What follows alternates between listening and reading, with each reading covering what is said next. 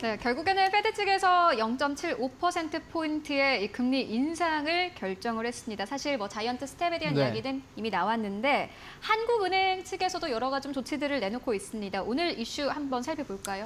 네, 뭐 일단은 그 저녁에 FOMC 회의 내용을 보면 결국에는 이제 파월이 높은 인플레 항복 선언을 한 것이 그러니까요. 아닌가 생각을 하고 있습니다. 음. 지난번까지만 하더라도 뭐 0.5% 정도씩 올리면서 좀 잘 방어하겠다. 뭐 인플레 관련해서 어, 둔화되고 있다는 확실한 지표가 있다라고 말을 했는데 이번에는 그런 얘기가 쏙 들어갔죠. 오히려 진짜 기자회견 내내 0.75%를 올릴 수밖에 없는 당위성을 설명하는데 급급했다. 그만큼 지금 다급하다라는 것을 좀 보여주지 않았나 생각을 좀 하고 있고요.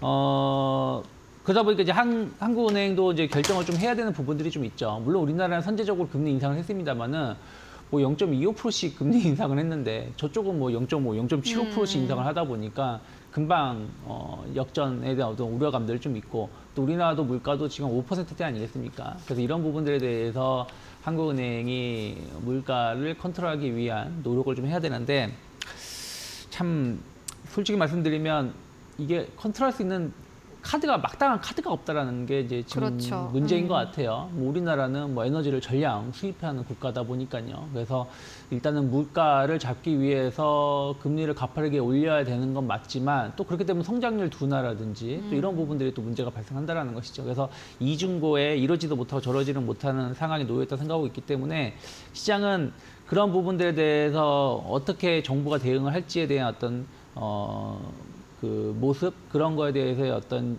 그, 감, 그 기준을 음. 좀 찾고 싶어하는 어, 흐름이 아닌가 생각하고 있습니다. 음, 그렇습니다.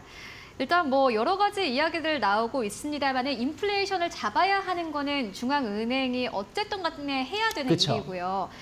이제 우리가 해야 되는 일은 시장을 대응해야 네. 되는 일 아니겠습니까? 그렇다면은 이러한 인플레이션 시대 안에서 우리는 어떤 섹터에 좀 주목을 하고 시장을 계속해서 대응해 나갈 건지 음, 그 부분에 대해서 한번 이야기를 해볼까요? 네, 오늘 시장 혹은 최근의 시장에 답이 있다라고 저는 생각을 좀 하고 있어요. 어. 그래서 결국에는 돌고 돌아 2차 전지가 아닐까 생각을 좀 아, 하고 있는데요. 네, 네. 왜 그러냐면 음, 금리, 그러니까 물가를 잡기 위해서 금리를 가파르게 오르, 올리겠다라는 것은 수요 충격을 통해서, 그러니까 지금 공급 충격은 어떻게 중앙은행이 컨트롤할 수가 없는 거 아니겠습니까? 그러면 수요를 억제해야 되는데 음. 수요를 억제할 수 있는 최선의 방법은 금리라는 것이죠. 그래서 어, 금리를 올리게 되면 아무래도 어, 그 대출이라는 이런 부분들 이슈들이 좀 있고 또 기업들도 영업하기 쉽지 않은 부분도 있다 보니까 아무래도 감원이라든지 이런 비용 절감을 할 수밖에 없죠.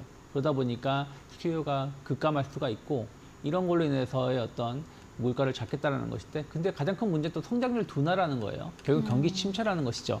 어, 시장에서 예상하는 경기 침체가 생각보다 좀 빨리 올 수 있다는 우려감들 있다고 생각하고 있는데 그러면은 최근에 시장이 좀 하락하는 이유가 모든 종목이 다 하락을 했거든요. 하다못해 경기 방어주라고 봤던 통신주들도 하락을 했어요. 그 얘기는 경기 침체가 오면 모든 게 좋지 못하다라는 것인데 유일하게 시장 대비해서 선방했거나 오르는 종 쪽이 2차 전지 쪽이에요. 그럼 2차 전지는 무슨 용가리 통뼈를 삶아 먹었냐라고 생각할 수도 있겠는데 만약에 경기 침체가 오면 차량 소비는 감소할 수밖에 없겠죠. 하지만 내연기관 차량 소비가 감소하는 것이지 전기차 소비는 감소하지 않을 것이라는 것이죠. 결국에 전기차의 성장세는 어, 경기 침체가 어떻게 올지 모르겠지만 어, 낮은 경기 침체가 온다고 하면 전기차 시장의 성장세는 여전히 유지, 유지될 것이라는 어떤 기대감들이 있고 그 이유 중에 하나는 높은 에너지라는 것이죠.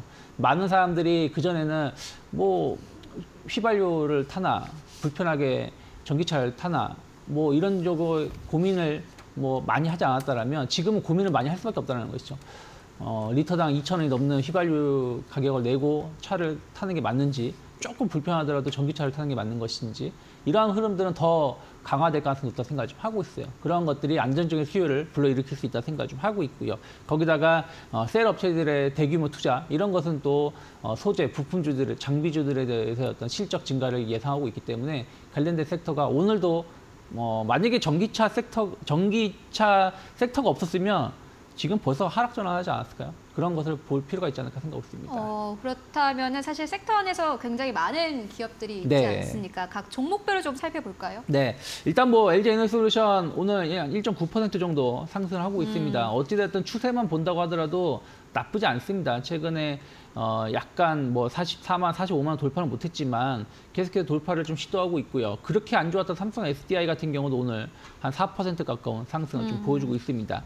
그리고 소재주 쪽에서 보신다라면 뭐 LNF 마찬가지로 3% 정도 상승을 좀 하고 있습니다.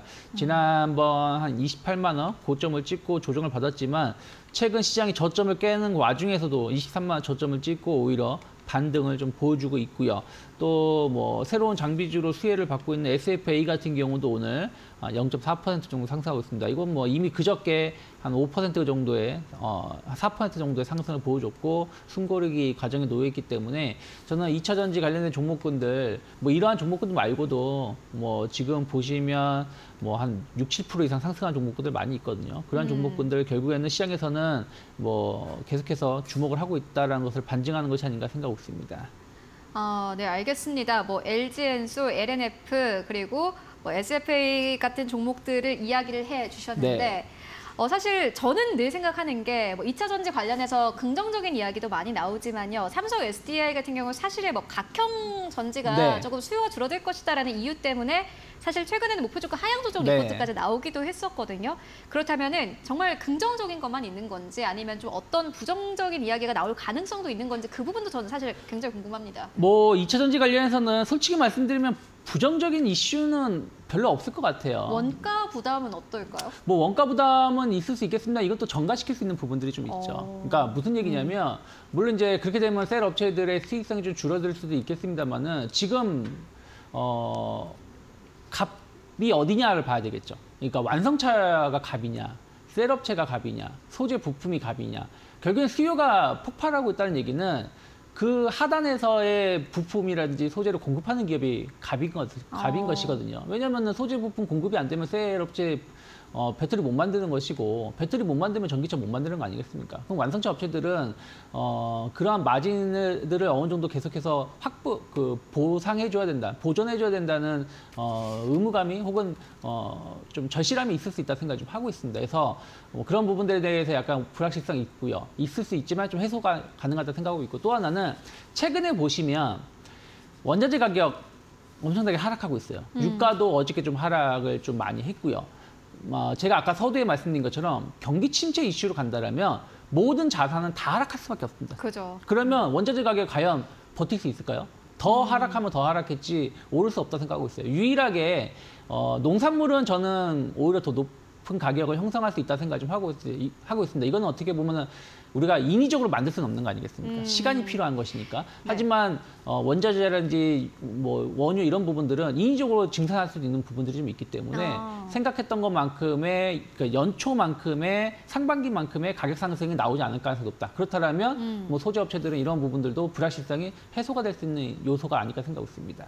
네, 알겠습니다. 그렇다면은 그 종목들 가운데서도 어떤 종목을 좀 보면 되겠습니까? 네, 뭐 저는 뭐 덜 오른 종목군들 중에서 뭐 LG화학 계속해서 주목하실 필요 있다 생각을 좀 오. 하고 있어요. 최근에 LG 에너지 솔루션보다 더 잘 올라가는 게 LG화학인 것 같아요. 결국에는 어, 본업, 뭐 화학 산업 자체가 뭐 고유가 이런 부분들 때문에 수익성이 좋지 못했지만 이것 은 이제 어느 정도 좀 해소가 될 가능성이 높다. 어느 정도 좀 주가에 선 반영되었다 생각을 좀 하고 있고요. 그리고 이제 LG 에너지 솔루- 에너지 솔루션의 그 지분 가치만 하더라도 지금 LG 화학의 주가를 해석할 수가 없죠. 물론 이제 지분 가치가 무조건 그 지주사에 반영된다라고 말을 하지 못합니다. 특히 우리나라 같은 경우는 지주사의 그 지분 그 자회사의 지분 가치가 상당히 저평가되어 있는 어, 국가 의 모습이긴 합니다만은 그래도 그러한 부분들은 어느 정도 해소가 될 가능성이 높다 생각을 좀 하고 있고요. 거기다가 이제 LG 화학이 새로운 먹을거리 소재 어, 2차 전지 소재 쪽으로 해가지고 집중 육성하겠다고 했고 거기에 대해서 지금 어, 공격적인 투자가 이루어지고 있어요. 지금도 소재 관련해서 매출 비중이 상당히 일정 부분 나오고 있는데 이것을 또 높이겠다라는 것이기 때문에 그러한 부분들의 성장 모멘텀 감, 감안해 보신다라면 저는 뭐 한 65만 원대까지의 어, 추가적인 상승 충분히 기대해 볼 만하다 생각하고 있고요. 저는 55만 원이 크게 이탈하지 않는다라면 분할 매수. 최근 2주 동안 6월 한 달, 6월 달 동안 시장이 안 좋을 때 계속 이 자리를 지켜줬기 때문에 음. 55만 원 지지선 놓고 접근해 보면 좋지 않을까 생각하고 있습니다. 네, 매수세가 아주 강하다라는 것이 느껴집니다. 오늘 LG화학은 시가총액 7위권에서 6위권까지 올라왔고 유창희 대표님께서는 목표 주가 65만 원대까지 볼만하다라는 투자 의견 남겨주셨습니다. 네, 지금까지 유창희 대표와 함께했습니다. 고맙습니다. 고맙습니다.